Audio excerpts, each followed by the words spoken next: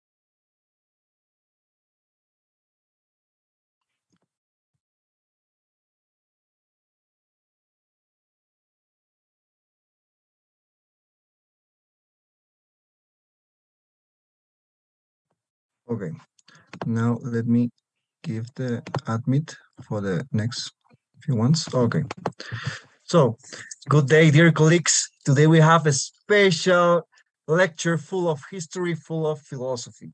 Neurosurgical colloquium, the philosophy of a neurosurgeon. First, let me make you a few advices, questions about residency in the United States or questions about the USMLE will not answer And uh, you will you will feel please feel free to have or making questions in the chat box or put on your microphones in the final part of the lecture. So let me introduce you the speaker. We have here a Dr. Giuseppe Lanzino, MD, Joseph and Barbara Ashkin, Professor of Surgery and Professor of Neurologic Surgery and Radiology, Mayo Clinic in Rochester, Minnesota. I'm Uriel Tagle, President of the Peruvian Student Society for Neurosurgery and Neurosciences, and I welcome you, Dr. Giuseppe Lanzino. Please feel free to start. Thank you, Uriel, and uh, it's uh, really a true pleasure for me to um, have the chance to talk to you all. And uh, uh this is going to be very informal. I just prepared a few slices just to say a few basic things, um, just a few suggestions, uh, something about uh, my teachers and um, a little bit of my journeys, and here are a few here and there a few stories. Um, what I try to do basically, I, I try to think, okay, if I had to go back, what are some of the really important uh, things that I've learned or just uh, simple words that somebody told me along uh, the way that uh, helped me a lot and that uh, might be, I hope, uh, helpful to you um, in your career. So this is a picture with Dr. Laws, one of my mentors. It was um, hard to believe, but about uh, almost uh, 30 years ago. We were making rounds. And um, as I was interviewing uh, to get the position as a resident, Dr. Laws told me, treat every patient as one of your family members. And uh, those simple words, uh, I they were so important to shape uh, what I do every day. I keep reminding myself, and and then all of a sudden it occurred to me that if you're able to really consistently do that, you will be a great, a great doctor. I've, um, you know, we are all uh, in, in medical, uh, as we go through medical school, especially if you're looking for an academic career, we are all uh, competitive. We like to be the best and uh, do the best we can, and that's great. But um, I learned that um, as you go through the process long term, um, and this might sound uh, um, simple, but um, it's important to be honest and to maintain a very high level of integrity, no matter what um, you do, no matter what stage uh, you are. And uh, this is one of the uh, very famous uh, uh, businessmen, but it's also somebody that um, a, is very wise and has a lot of common sense. And he said it takes 20 years to build a reputation and five minutes uh, to ruin it. So if you think about that, you will do a lot of things differently. And um, as you go through residency or as you start your clerkship, try as much as possible to go and check things yourself. If you are called because there might be a question, there might be a potential problem, go and check the patient yourself. It will avoid a lot of mistakes, and uh, the team, and particularly the nurses, will appreciate you a lot. If you order a test, make sure that you check the result, but also make sure that uh, the patient and their family, that result is communicated to them as soon as it is available. It's inhumane. There is no reason why a patient should be waiting a long time to know the result of a test that uh, might quite often uh, might uh, affect the trajectory of their uh, uh, or their life. It's important when you talk to patients. It's it goes a long way if you're able to convey to patients and families and to make them understand the complex things. This is again, you know, uh, my mentor, Dr. Laws, one of my mentors was is um, uh, one is the world expert on pituitary surgery, and uh, uh, he when we were in clinic, he immediately would gain uh, the the trust of patients and their families because he would put the MRI and he would say, okay, you see, this is the pituitary gland and it's right in the center of your uh, head, and this is the nose, this is the front, this is the back, and uh, the pituitary gland we can operate. We don't need to go through the brain. We can operate through your nose. And immediately, patients and families they were feeling like they were understanding an MRI, and that would be very helpful and very powerful, and immediately establish a report of uh, uh, mutual uh, uh trust and uh, uh, patients with you know and their family they they will um, really like if you do that. This is a picture of, uh, for those of you that uh, follow soccer, this is Dino Zoff. Dino Zoff was the legendary goalkeeper of uh, the Italian uh, uh, national team that won the World Cup in 1982.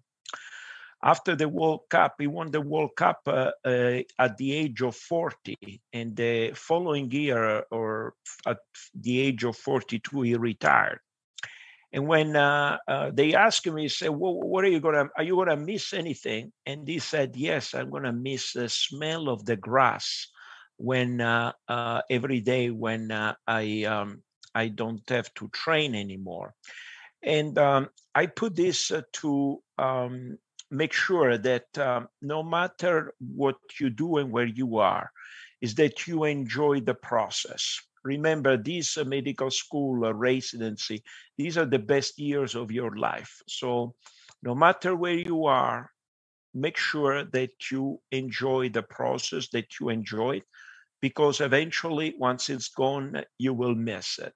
And uh, this is uh, w- myself with one of my co-residents uh, jeff elias the last day of my residency here it's in clinic with one of my other mentors, Dr. John Jane. And uh, I, as I said, uh, make sure you enjoy the process.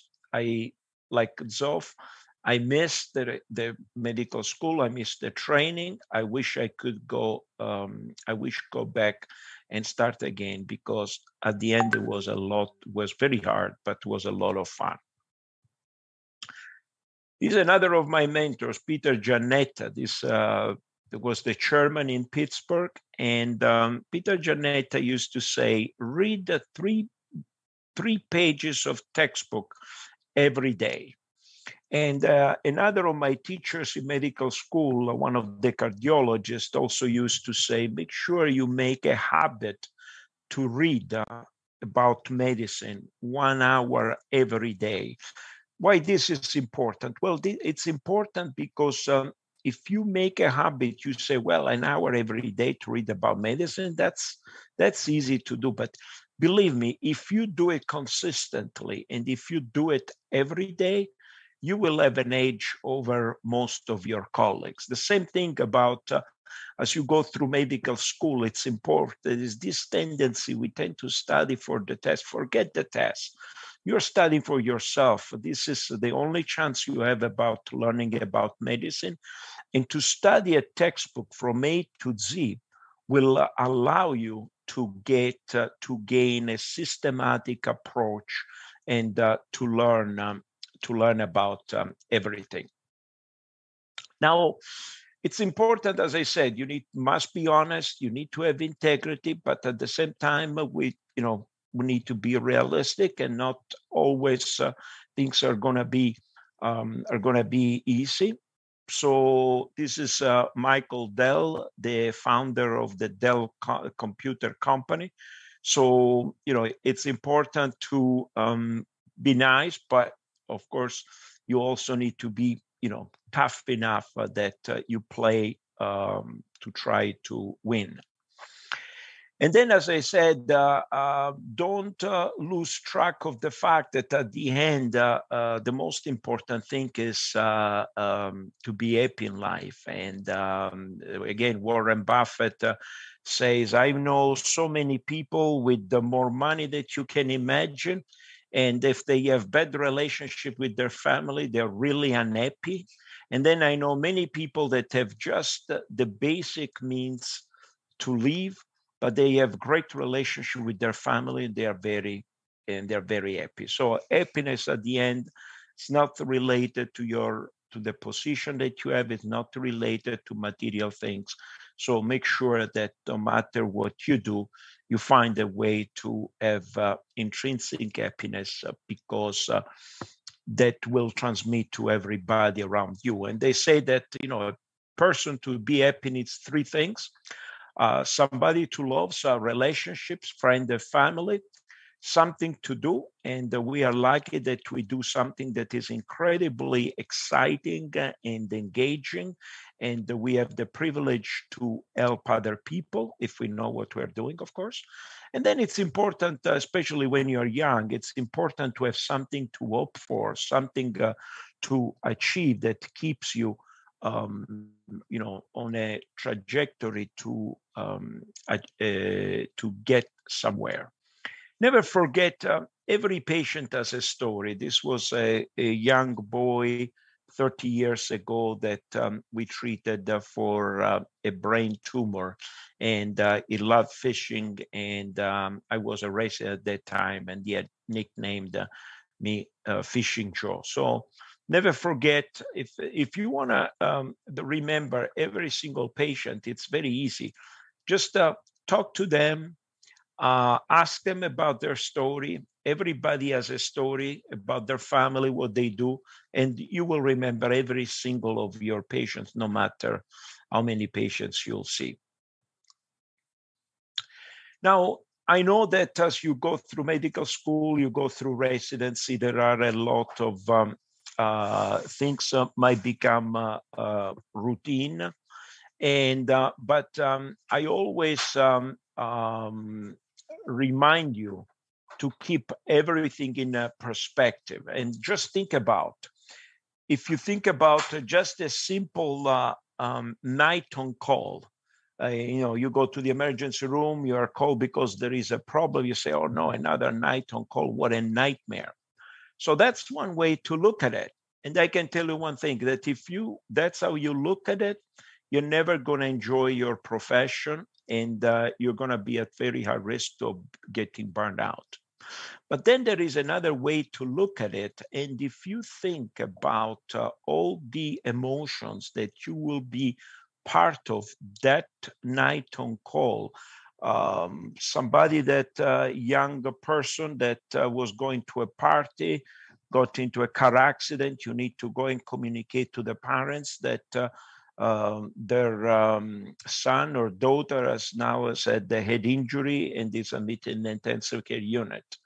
Uh, the elderly lady that was at home and uh, he fell, she fell as she was trying to get out of the chair. You have to go and tell the granddaughter so sorry, grandma, grandma, your grandmother is never going to be the same because uh, she fell. So, if you look at all the human aspects uh, that uh, go on through a simple night on call, then uh, I can tell you that there is no, I've not been able to, I cannot read the literature anymore because there is um, no um, no uh, fiction book that can give me the same degree of uh, intensity about life than I can get through a day at work if I consider the human aspects behind every single patient, every single um, MRI. And then uh, make sure that you follow and you surround yourself with people that are positive, people that have positive energy, that want to learn, that want to get uh, better, not stay away from people that complain all the time. Uh, life is short, and uh, if you follow yourself and you are positive yourself, then uh, everybody around you uh, is gonna feel uh, uh, is gonna feel that positive energy.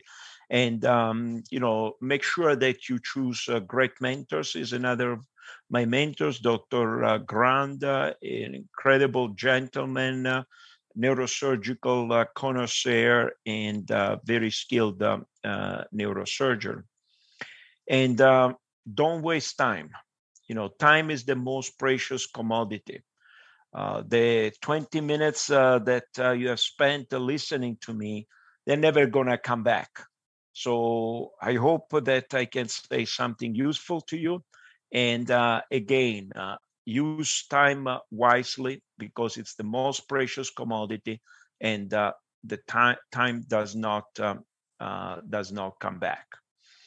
And um, that's all I wanted to say, just to you know put uh, things a little bit in perspective. Um, hopefully, make you think a little bit. I'm uh, happy to try to answer any question that you might have. Again, I can give you my um, my view, uh, and uh, also remember that uh, it's very important to listen to different uh, people, different opinions. But those, uh, what they are, they are opinions, and then you need to um, create your own uh, view of medicine, what you like to achieve, and and so forth. So Uriel, I'm going to uh, stop sharing, and uh, as I said, uh, maybe I kept it fairly brief, uh, just a few concepts. Um, hope that we can, you know, have a nice conversation. Thank you, doctor. Well, it's a great lecture.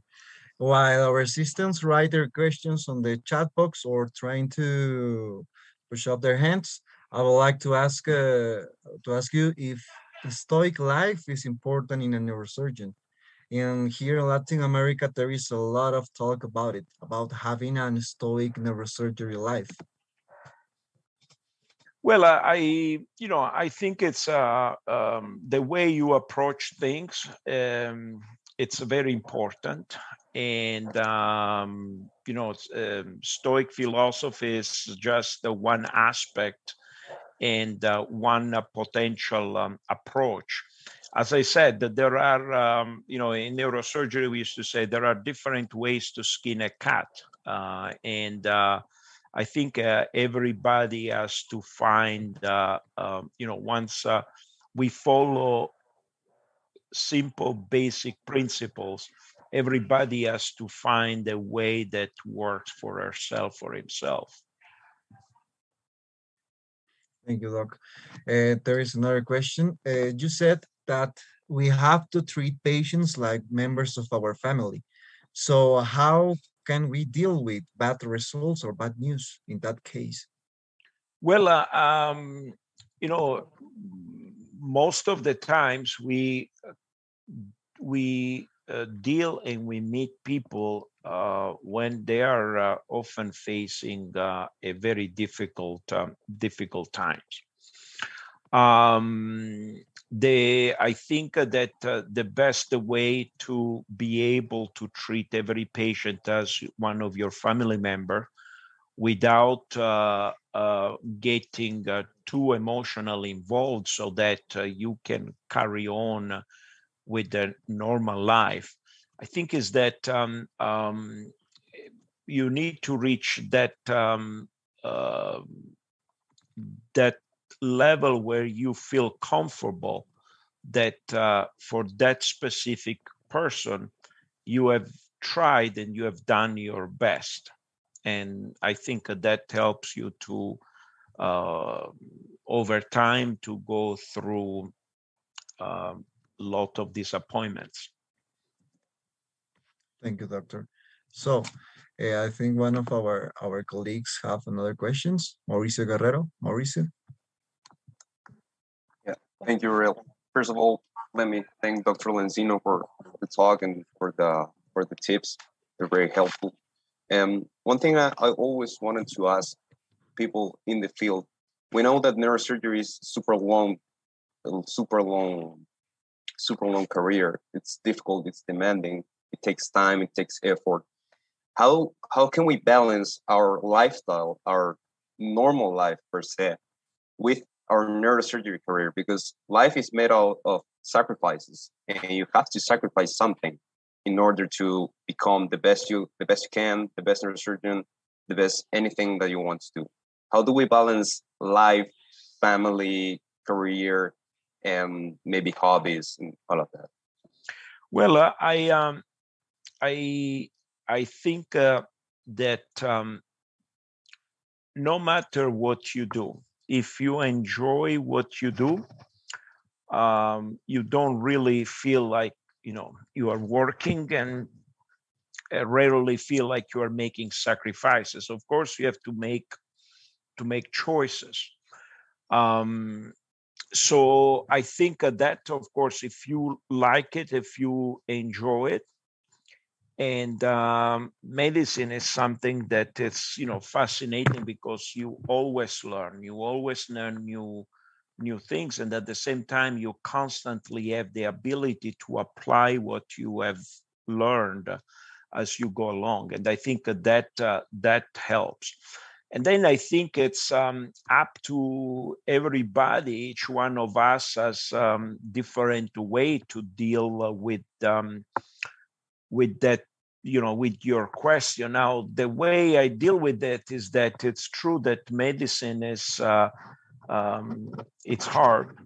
But um, i can tell you that if you look at what uh, many other people in the world they do for living you know most people have a much harder life than physicians so my hat and you know my respect to um, people who work much harder than I do.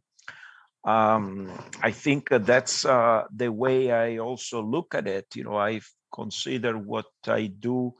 Uh, I feel myself uh, privileged to be able to do um, what I do, and I think that also helps me to find a, a good balance. But there is no question that uh, you have to to make choices. Thank you, Doctor. I, uh, on the same line, I think it's very important what you said. It's all about perspective, and we if we change the the idea of oh no, I have to be on call to oh I get to be on call, it's very different, and it changes hundred percent the perspective of the of the surgeon. It gets you in in a mood that you are happy about your work and you are proud of it and you are super grateful that you get to work on people and with, with people. So thank you for for the answer. Thank you mauricio. Francisco? Thank you. Excellent lecture doctor. Uh, i have a question for for all uh, what uh, advice can you give us for the first year students uh, to learn neuroanatomy uh, especially in these times of uh, distance university in the pandemic? Well, uh, I, um, you know, the the first year it's a little bit uh, uh, difficult because some of the topics are a bit dry, and um, I, you know, the way I look at the first year of medicine or medical school, it's just uh, it's uh, an investment. You know, it's you build the foundations.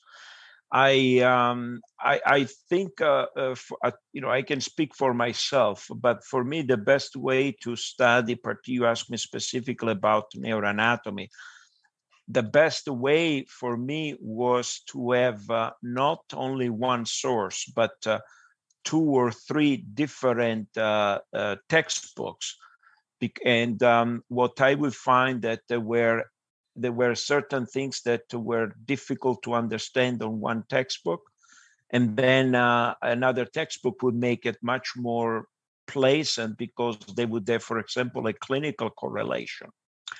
And then uh, when I um, went through medical school, I did not have um, I, I had didn't never saw a cadaver, never saw a brain.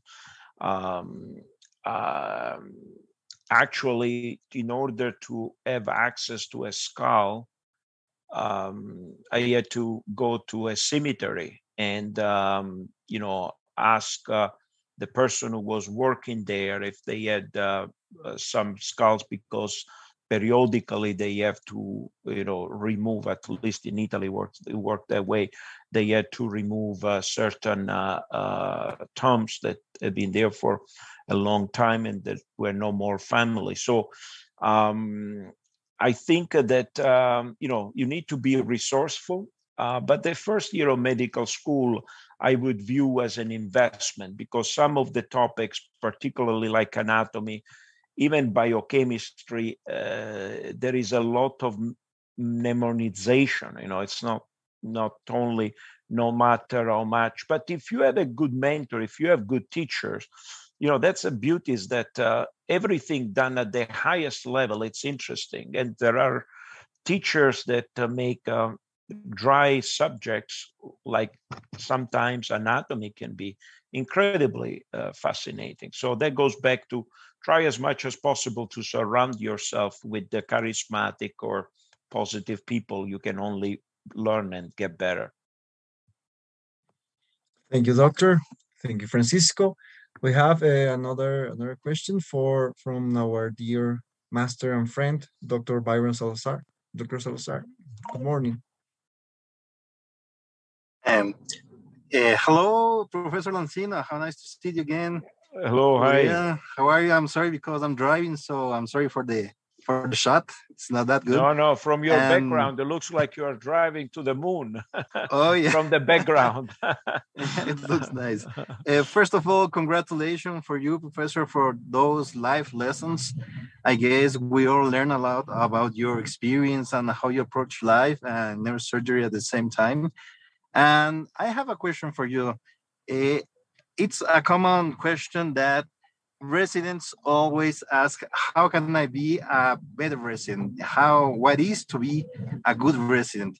What would you be your recommendations for those residents that you know they want to get good at neurosurgery but they don't actually know what to expect in each year of the residency program how would you approach that subject?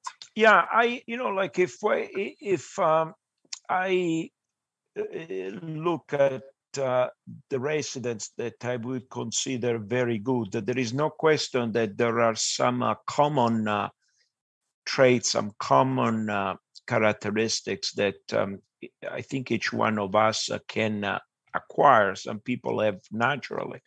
Of course as you go through the learning process you need to be willing uh, to learn. You need to be willing to listen. Um, each one of us, especially when we are young, we can easily have our opinions, and uh, uh, it's not uncommon. You're doing an operation, and sometimes the residents they might suggest you to do it something different because so uh, that's great i think uh, it's everybody should uh, feel free to voice their opinions but um, when as when you are a learner you you need to your mind uh, needs to be um, able to uh, listen and um, but at the same time it's a fine balance uh, between being what i say teachable and at the same time uh, have a, a critical uh, view and make a critical assessment so that as you grow in your knowledge, you can uh, analyze, you can start analyzing uh, each step, uh, each problem uh, independently.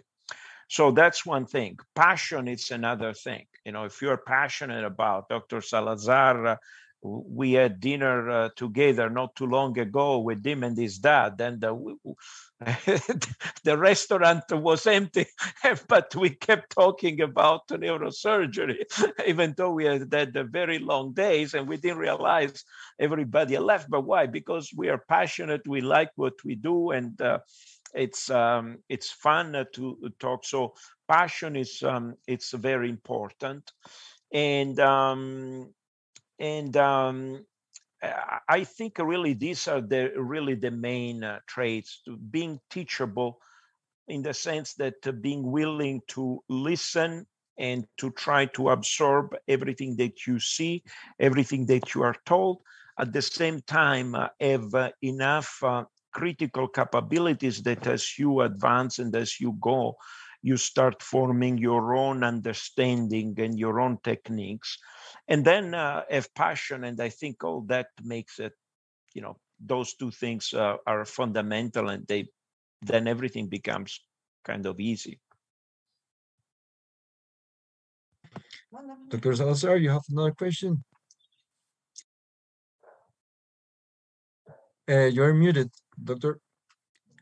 Okay, Okay. thank you. Uh, Just to to congratulate Professor Lanzino for his wisdom, and I guess just a little bit a brief comment because sometimes I get that residents uh, may think that they will be uh, the greatest resident if they have the most ability, or they are you know the the ones that can get uh, faster with their surgeries, and I guess that's a big mistake because as Professor Lanzino said, there are so many uh, different ways of each resident that can be good at. Some are like uh, do a, a, a more uh, detailed uh, physical exam. Others, for example, talk a lot with the patients, know the life of their patients, their names, the last names. Um, others that they don't even know, or they just know the a number of a bed number, or maybe a pathology, and they might be uh, good surgeons. So ability is something that I guess uh, can be trained to work a lot, to train hard. And, you know, as Professor Lanzino said, if we want to get to his level, we have to dedicate a lot of hours to the laboratory, to, to manual activities, to, to learn a lot, to read papers. And of course, we will be as good as we can. And I guess we all can be Professor Lanzino. There is only one of him. And of course, if we are not, or if we don't get at his level, well, we can do uh, the best we can, and that will be enough for us. Just about that. Uh, thank you very much, Professor. Thank you, Bien. Thank you, doctor. So, Dr. Lanzino, let's check about our comments in the chat box. Yeah, do you, I can uh, read the, some of the questions. Well, There's one question, during your days as a medical student, how did you manage the emotional pressure when gain, getting to meet uh, critically ill patients? So that's a very good question. And uh, I will say the following, that um, um, at the beginning, it's uh, very hard for everybody. Um, then uh, um, it's um, you know uh, the life makes it a little bit easy in the sense that uh, it, when it becomes a constant, um, you tend to um, you know we like it or not, to- we we tend to notice a little bit less becomes because it becomes a part of our life. Believe it or not, when I was young, my mother um, was uh, really afraid about disease. And uh, she transmit she has you know she's a teacher. She so she didn't know much about medicine but she had this terror about uh, disease. And uh, she transmitted that to me as a child. And believe it or not uh, growing uh, through my childhood and adolescence just uh, the hearing an ambulance would send me into a panic attack and uh, forget about going into the hospital. I, I couldn't uh, just, I was paralyzed. And here I am. It's uh, uh, six o'clock and I've been 12 hours in the hospital. So as you go on, uh, then uh, it, I will not say becomes easier, but you get a little bit, you get uh, somehow used to it to the point where, as I said before, you you you know you cannot let that become a routine.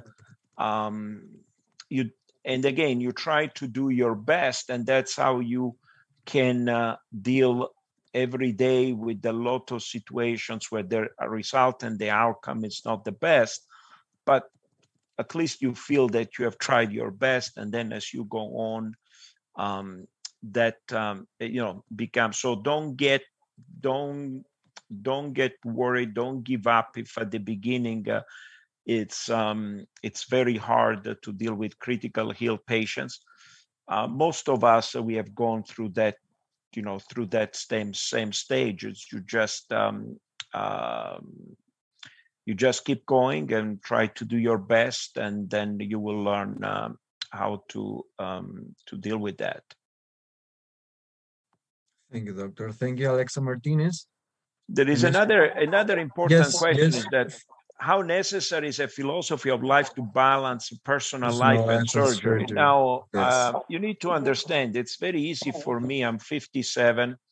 I started medical school in 83. So, you know, I've been into this for 40 years. It's very easy for me to sit here and pontificate. But uh, um, really, only in the past few years, I've been able to reach a level of uh, internal peace, I think, where I can uh, put into actions all those things uh, that uh, I, you know, talked about about um, enjoying as much as possible every moment of it.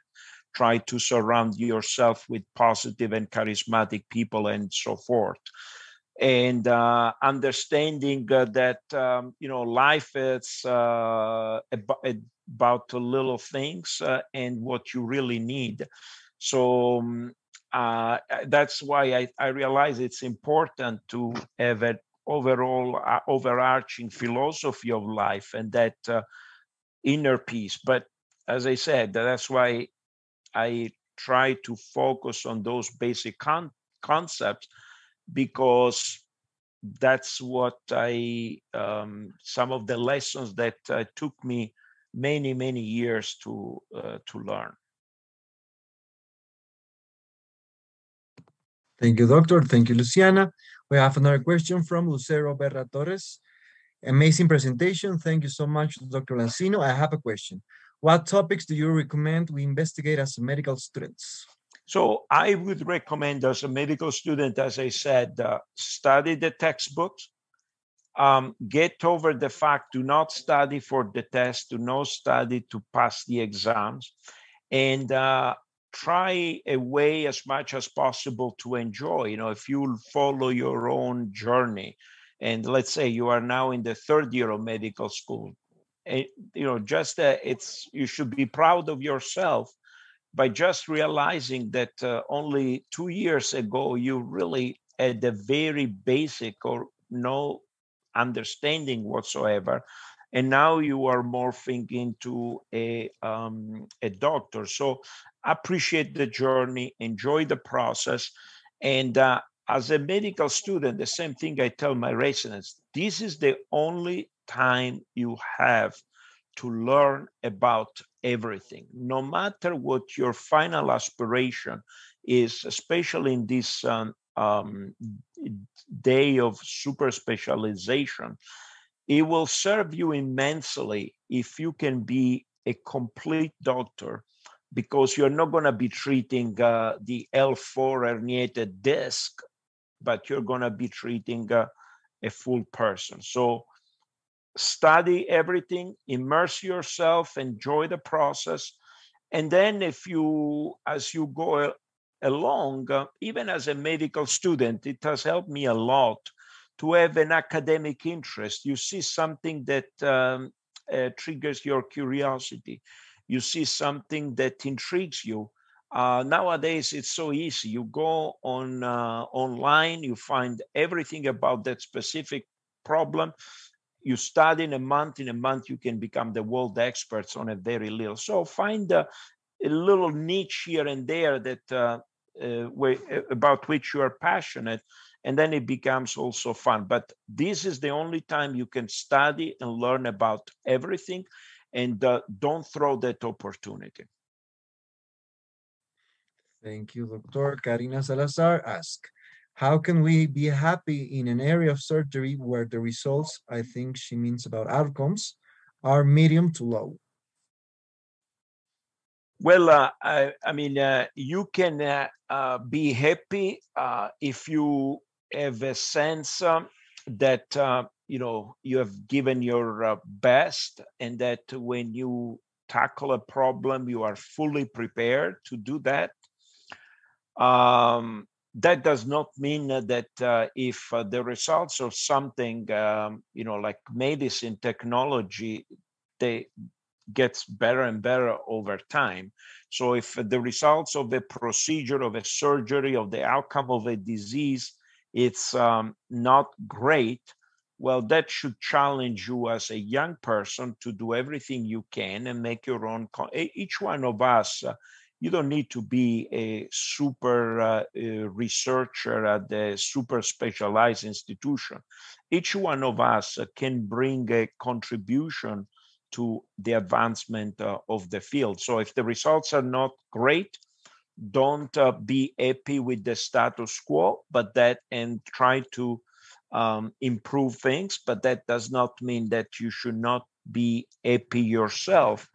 Uh, and the way to you can be happy is that um, you know you have given your best when you tackle a problem and you make sure going through medical school you study and you be the best possible medical student so that you know that uh, you get there prepared and that you did your best. Thank you doctor. We have another question from alejandro tagle.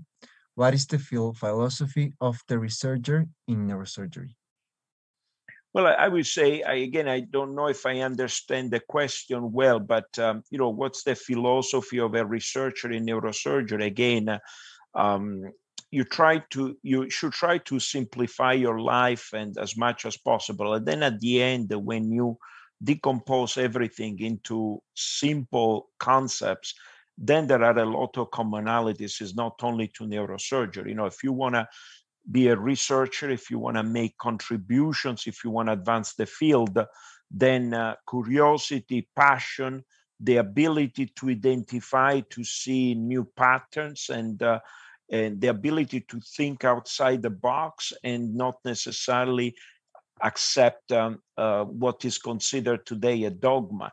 Just because we are in 2020 does not mean that in 2070 you will uh, laugh at what we are doing today, the same way we think that the medicine that was being practiced in 1950 was definitely not quite uh, in no way as advanced as how we practice uh, today. So the ability to have that historical perspective that what we are doing today uh, is going to be um, not the same that we will be doing in 20 years will uh, provide you with the philosophy of always trying to find the better and newer ways to do the same thing. Thank you, Doctor. Um, Gabriela Salazar asking us how we can deal with a life of failure in family or work field.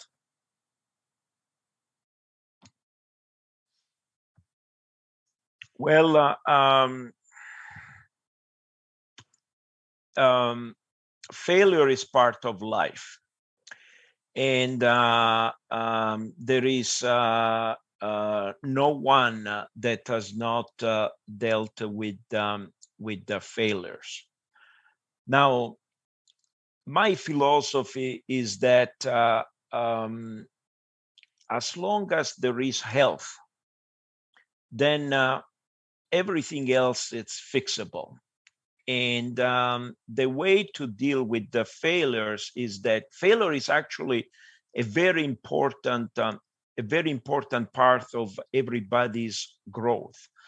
And um, that's where actually when you see the character of a person, not when everything is going well, but the true character of the person, you see it when that person, how the person is able to get back up on her or his feet after falling with the face face down on the floor. So failure, especially when you are young, uh, should not be discouraged. You must fail.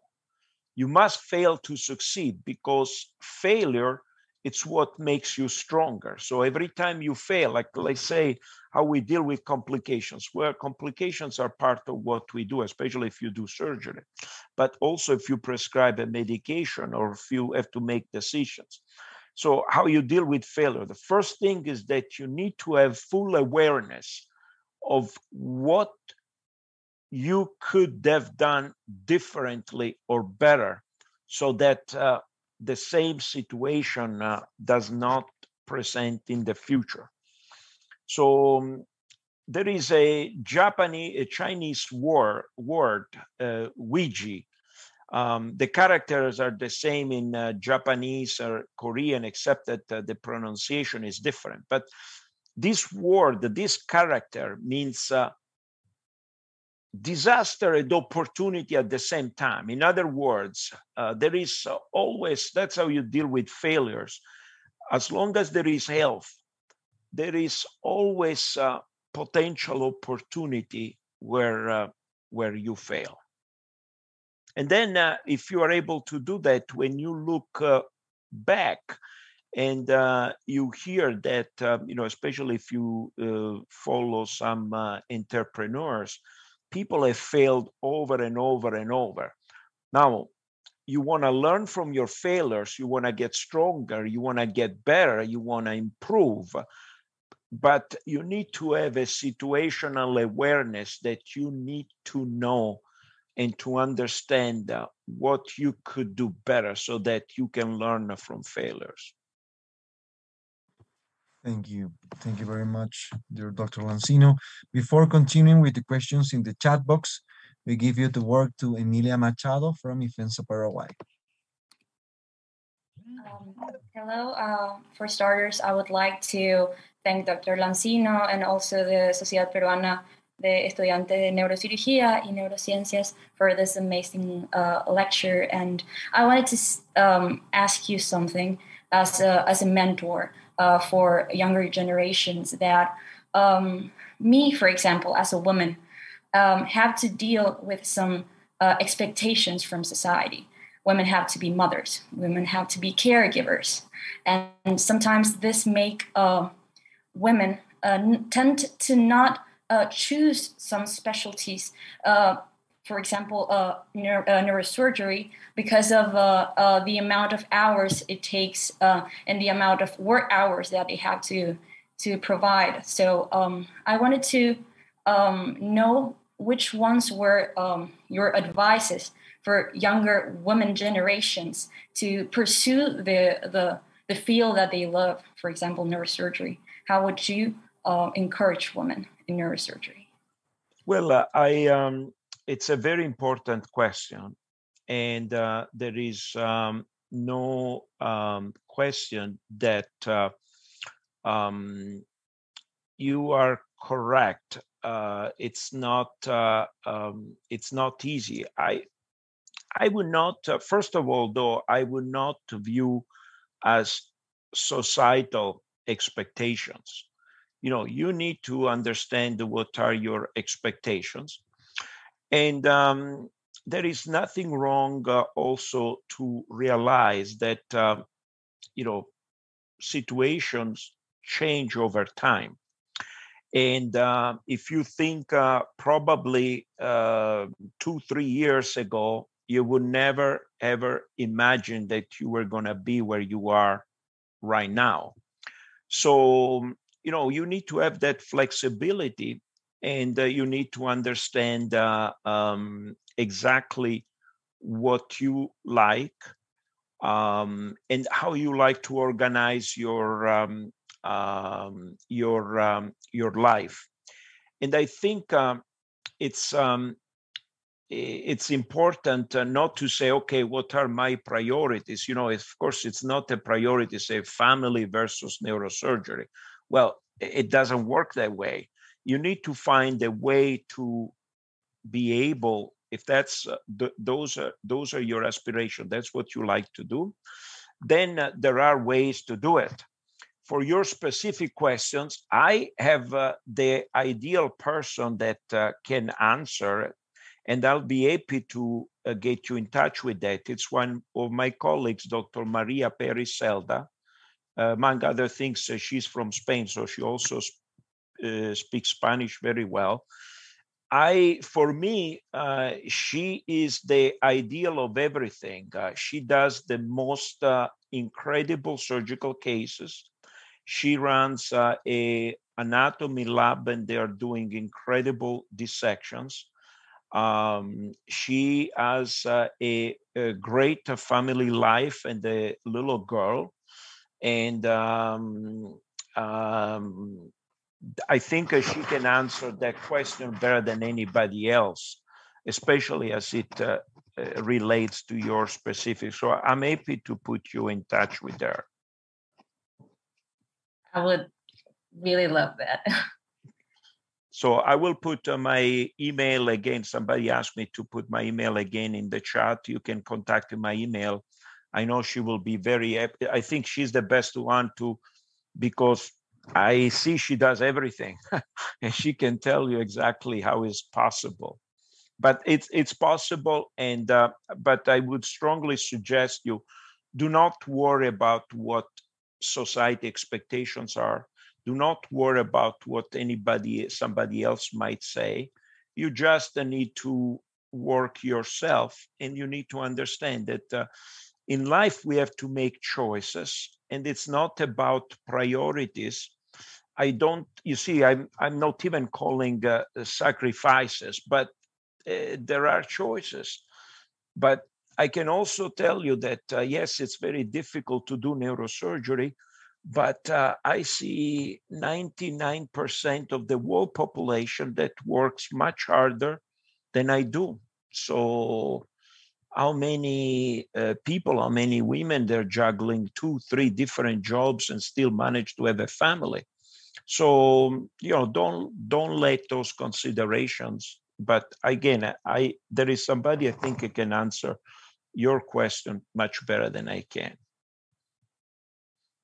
Thank you so much, Doctor. Okay. This was an extraordinary answer, and um, uh, I I think you're an amazing mentor. As someone in the chat said, you are a capo. You're amazing.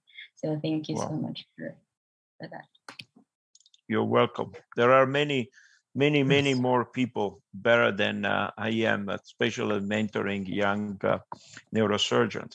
There is one question here: How can we start if we don't have mentors? Well, we don't have mentors. Yes I I think that um, um, you, can always uh, you know you can always uh, um, you can always meet people that um, you know you might find uh, uh, you might get some inspiration. They do, don't necessarily need to be in the same the same field.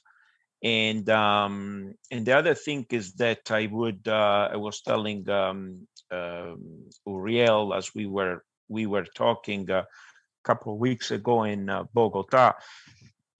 You know, you you can uh, reach out to people. Um, you know, you will be surprised if you reach out to it. You know, the the worst thing is that somebody might ignore your email or might not answer but more likely than not you will find people that you think they are inspirational and if you reach out to say hey look do you mind uh, mentoring me or you know spending some time helping me out you will you will be surprised how many people you will find along the way that just a, sometimes it's just a matter of getting in touch with those people. Thank you doctor. I remember uh, i think that you said you said to me uh, before going to following questions. Can can we expand more this idea, uh, this phrase that you said to me that we need to be honest, honestly, we need to be, um, we need to have integrity, and we and we need to have to, to be uh, good persons. Can we expand that idea? Oh no, that's uh, you know we were talking, you know, so that's what I people approach me say, hey, would you, um, can I, you know, can I follow you? Can would you be willing to mentor? I say, sure, I'm happy to. I'm only ask those things that you are a good, you must be a good person, must be honest and have integrity. And then I say, I can, I can teach you in six months everything I've learned in medicine and neurosurgery, and then you you go and you'll be better than I am. So, but uh, I think uh, I think that's very that's very um, that's very important because it goes you know it goes long way and uh, it also uh, it's the fundament uh, to be able to you know reach um, internal peace and um, happiness so thank you doctor so mauricio you have a question yeah, thank you. Now that we are talking about mentors, I just wanted to ask Dr. Lanzino, how big were your mentors in your journey?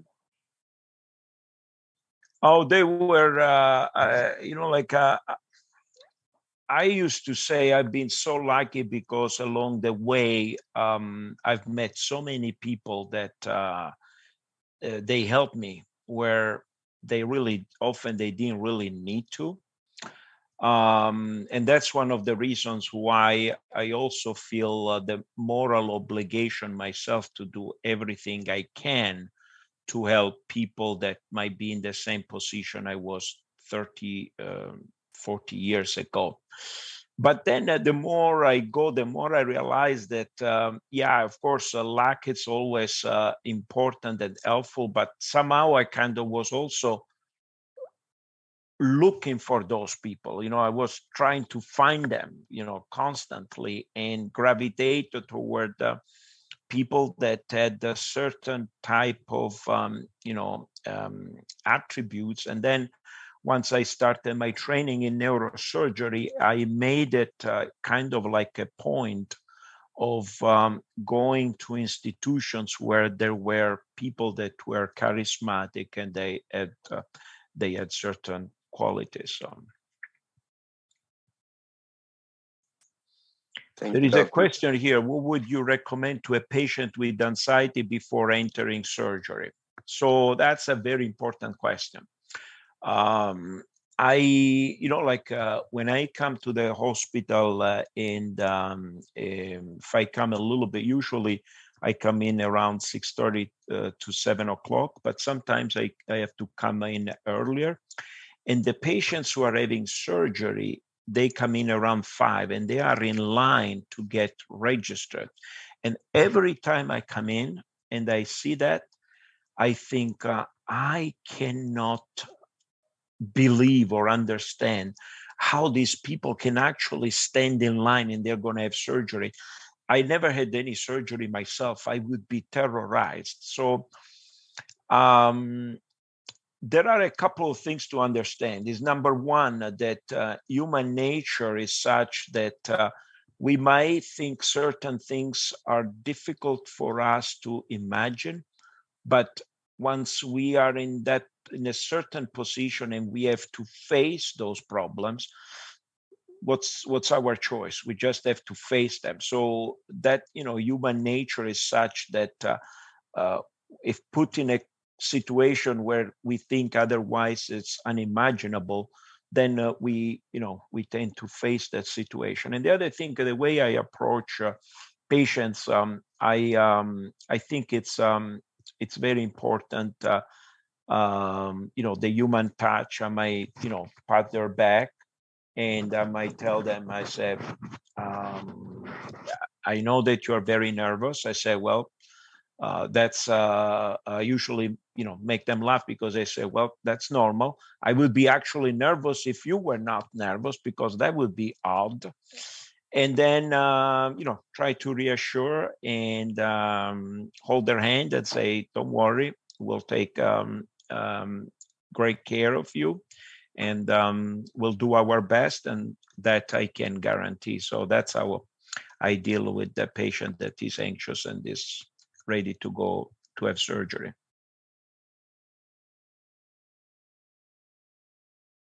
Thank you doctor. Uh, mauricio you have uh, your hand up. Yeah thank you. So doctor what do you think of, of it's this thing that I'm going to ask you is mostly for Latin American students. We're always talking about how we want to go out and train and get better. Everybody wants to go out of their country and nobody wants to come back. And what do you think? Should we leave our lives behind just, just to pursue our dreams and train and get better? Or at some point come back and get our neurosurgery in our respective countries better? Because in, in the development of Latin America, we are a little bit behind in neurosurgery and in medicine in general. Well, uh, uh, so this is uh, this is a very important question, and uh, that is one of the reasons why I told Uriello, say, look, I don't want to answer questions about, you know, trying to get in the United States or because, um, um, you know, like, uh, look what I did today. I came to the hospital and um, I did some dictations. They were getting the patient ready to do surgery. I did one surgery and then uh, I um, uh, there was another patient that I seen yesterday came in for an angiogram. I went to look at the result and I told the patient what the result was. And then uh, we got ready. I did another surgery. And then uh, uh, as they were getting ready, I saw two patients. So I am uh, from Southern Italy. And in southern Italy right now, it's um, what time is it? Six o'clock. People are going, getting ready to go out in my hometown. If I want to see anybody, I just go to the center city, get some ice cream, and I'm going to see all the people that I want to meet. Instead, I am in a, you know, in a place where it's uh, still freezing outside. This morning was snowing, and what did they do? tell me what did they do different that you cannot do it in um, where are you in mexico? No no, i'm in paraguay. In, pa- in paraguay. So um, i'm a doctor. So uh, you know that's the thing is that if you decompose in the what did i do? I came into the hospital. I did a couple of surgery. I saw a couple of patients did a bunch of dictations and now i'm having a you know a lot of fun chatting with you. So um, that and you know uh, we were talking about choices and i would that's a sacrifice for me you know like it's uh, but uh, what i'm doing now i could easily do in my own my home uh, town of course things are a little bit would be much you know much different politics and everything but you know there is a trade-off that's my my hometown and um, people that i know and so forth um, what you are saying uh, would probably was um, true um, 40, 30 years ago. But um, today, things are different. I mean, you want to hear from me what I think, you contact me, and here we are. Um, so I think it's important. Uh, you know, I cut uh, my presentation a lot, but a lot of my presentation is actually about uh, going out and learning because every time you go out, uh, or, but going out meaning that going to a different place, uh, you learn something. You know, like from a neurosurgeon in Africa, I've learned how to always get the sharpest knife in the under the microscope. And you know what I do? Uh, this neurosurgeon taught me. You take a one cc tuberculin syringe. You know that syringe.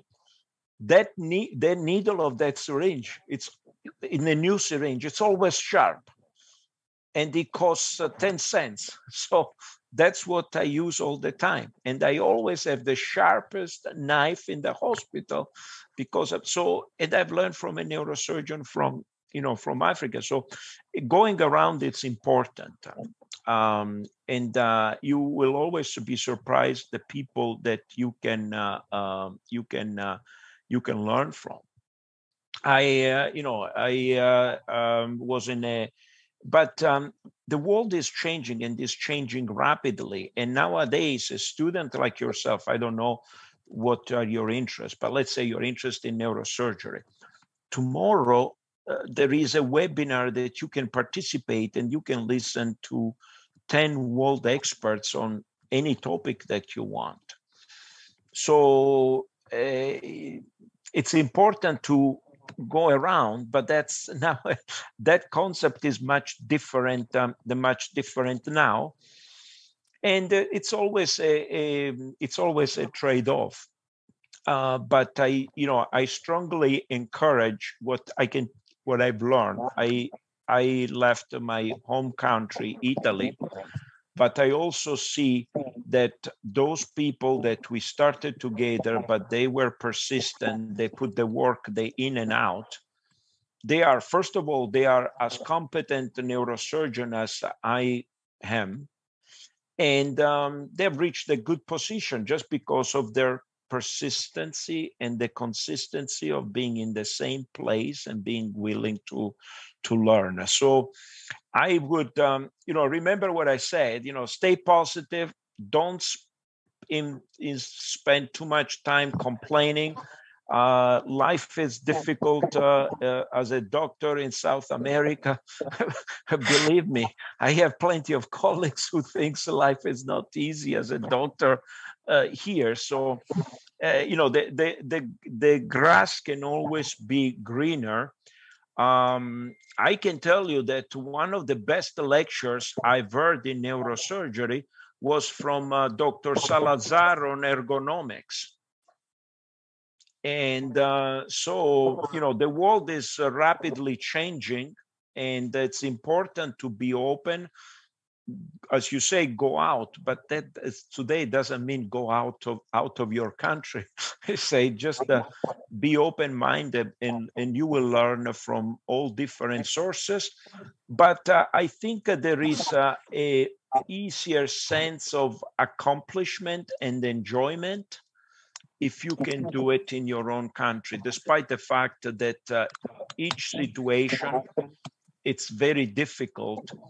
But you know, when I was a student, forget I could do what Uriel is doing. The professor the day after they would not uh, let me take the exams, just because I was uh, I was inviting experts uh, that uh, you know like they would feel but nowadays you can do it. And uh, you know uh, we hope that uriel will be okay so I, I, think the, the world is changing and i would strongly encourage each one of you um, to do what you're doing be the best at that and um, you know we cannot um, the world changes and um, who knows?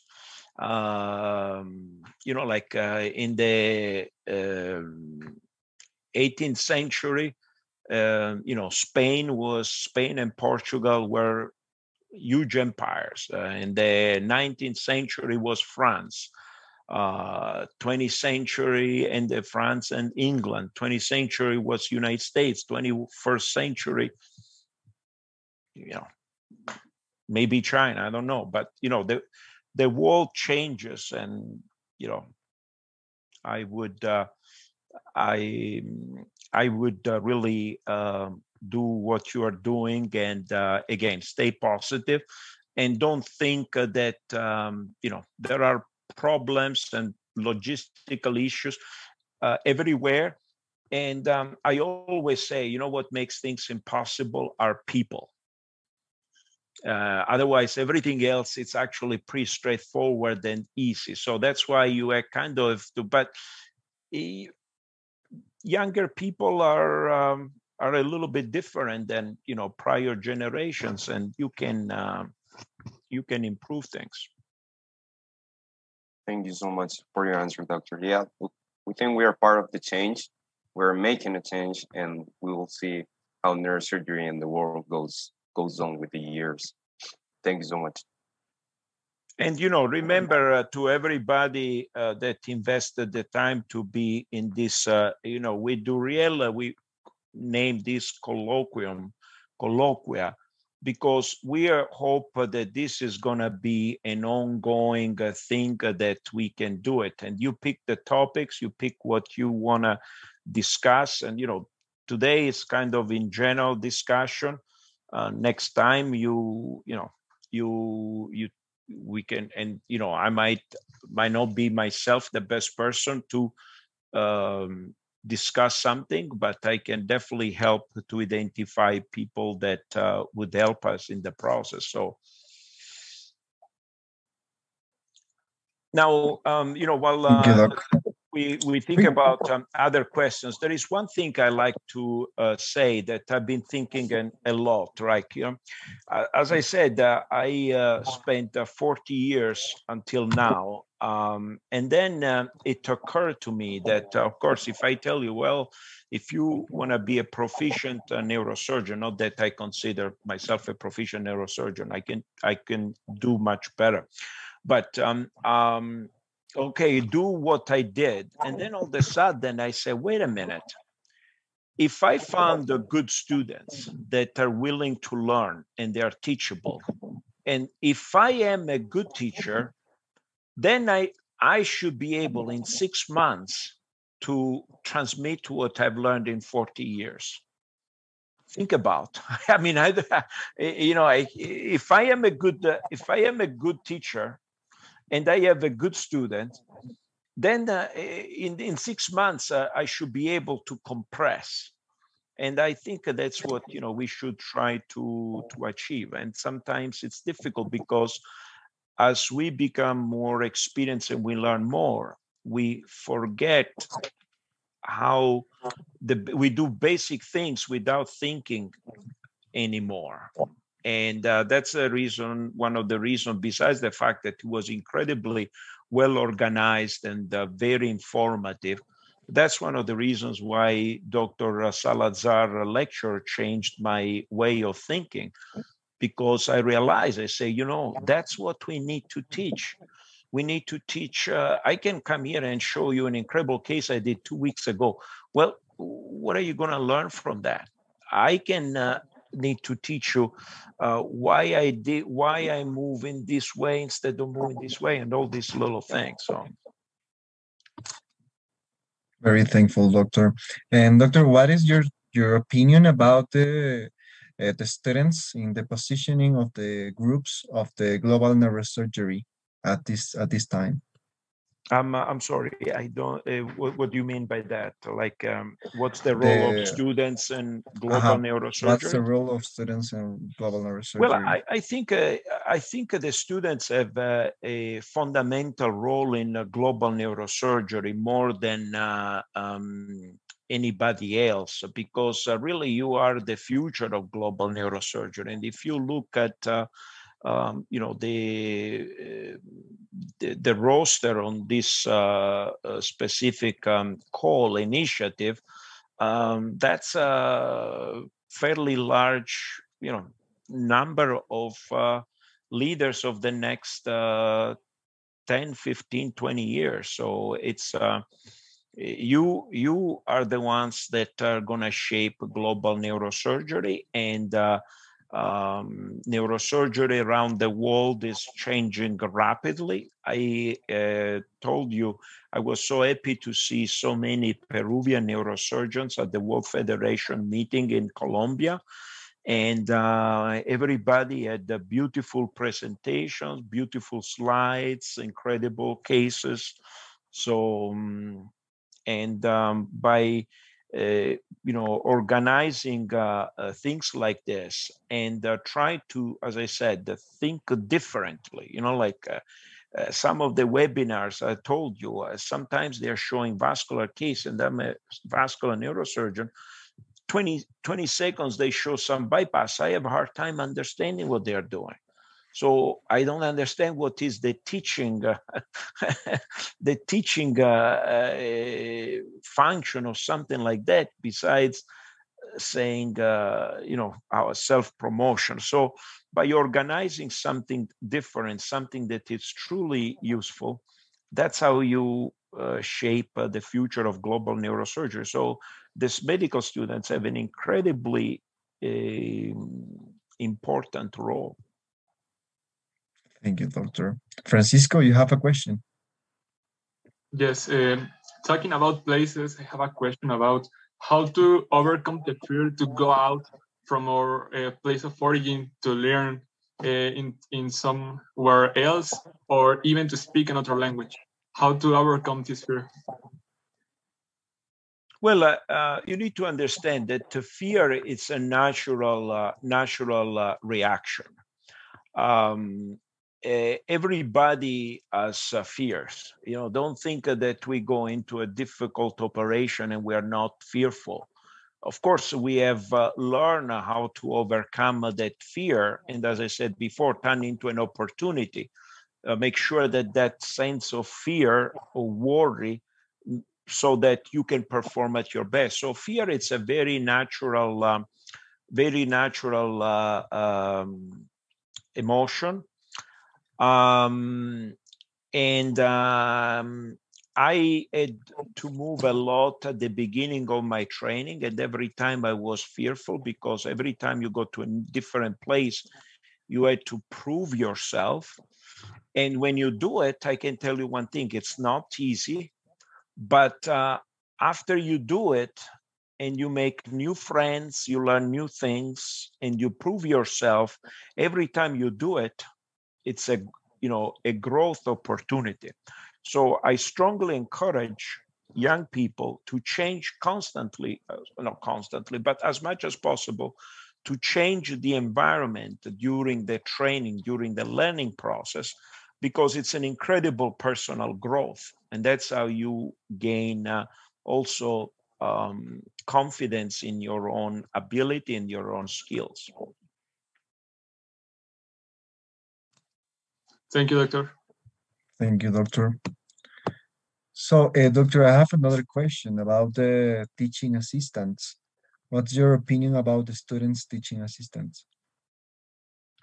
You mean uh, student teaching assistants during um, during med school? Maybe some uh, students uh, laboratory assistants, students assistant of research. Yeah.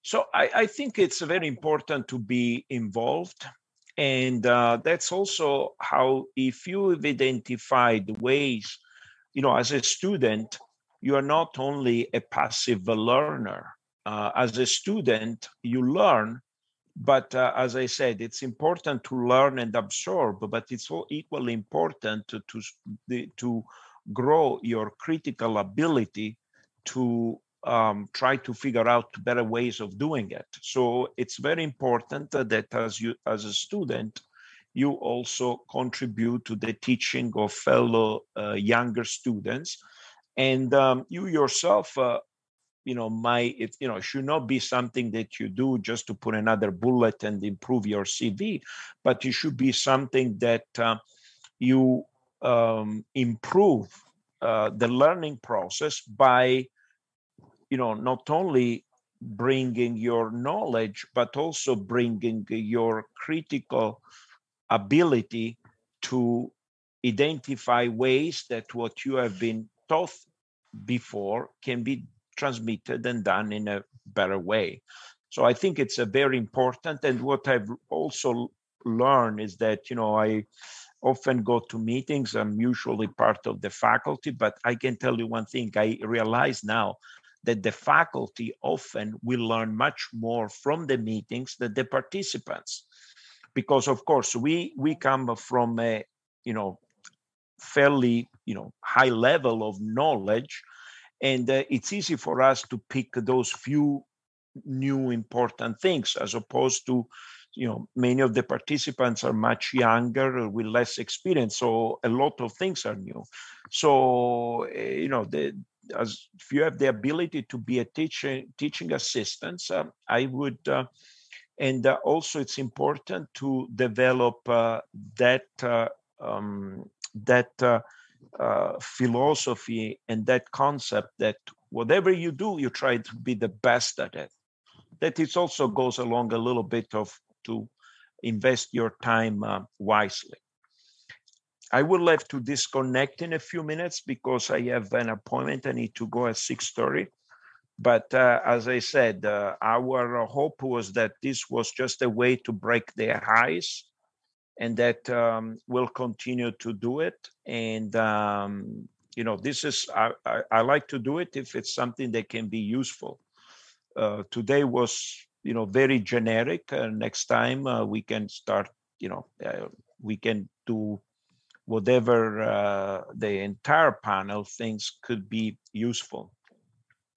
Thank you, Doctor. Uh, before we're closing, um, have you a word for students or residents around there that want to be in a research one day? Yeah, I think um, uh, there are, uh, you know, many areas. Uh, every area of medicine is exciting. You find uh, what is your um, passion, what you like to do it.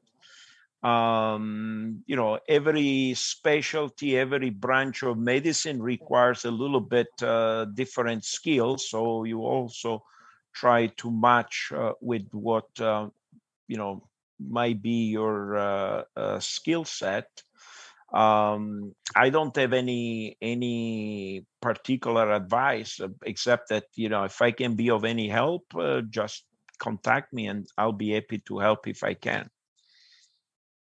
Thank you, Doctor. Dr. Byron Salazar, a word. Uh, thank you, Riel. Um, I would like to thank the whole panelists, especially uh, you for the invitation and Professor Lanzino uh, teachings. Uh, I guess uh, it's an honor for me and for everybody here that we can actually uh, hear talking one of the masters of neurovascular surgery in the world and to see how humble he is and how open he is and how can he uh, give all his advices to to uh, to to to to this new generation of neurosurgeons and students and i guess uh, what you uh, have been doing as the peruvian society of neurosurgery is something amazing we know each other so many months ago it's not that big of time but in this short time i guess you have demonstrated that you are interested in neurosurgery that you are willing to participate, that you are willing to to keep learning uh, from the masters. And I guess um, I have no doubt that you will be great surgeons. You have this possibility that we didn't have.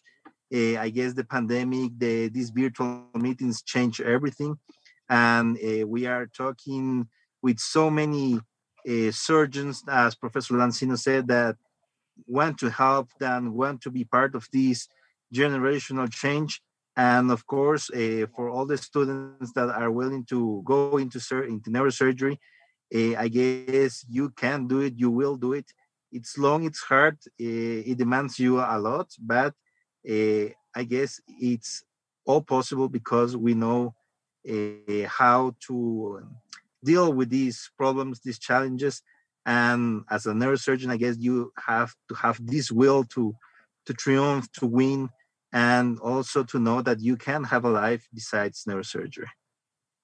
Thank you. Dr. Once again, thank you, Professor Lanzino. Thank you, Riel. Hey, thank, thank you, you everybody. Thank you, everybody. Thank you, everybody. Thank you, Mauricio. Thank you, Francisco. Thank you to the panelists. Hope you can join us in the future sessions of Neurosurgical Colloquium. Thank you, Dr. Lanzino, for sharing that part of your life to make us more conscious and better in the future. Thanks, Dawson, Doctor. Thanks all. Goodbye. Bye. Good night. Bye.